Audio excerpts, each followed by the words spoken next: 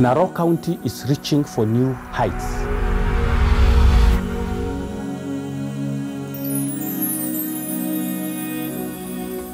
Narok County is well known here in Kenya and across the world as the home of the spectacular Masai Mara, the holiday paradise. You probably also know that Narok County is one of the highest producers of meat, wheat, barley, and maize in Kenya. We are turning Narok around.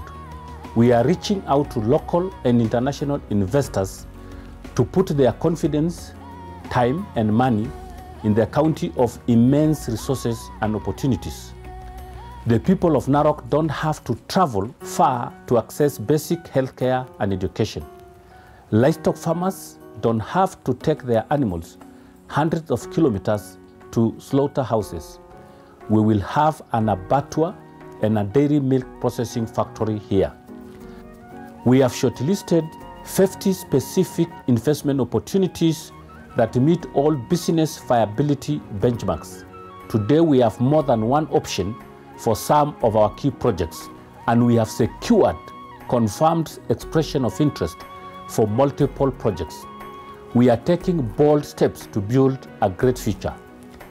This is why on December 3rd and 4th, we will host the first narrow County International Investment Summit.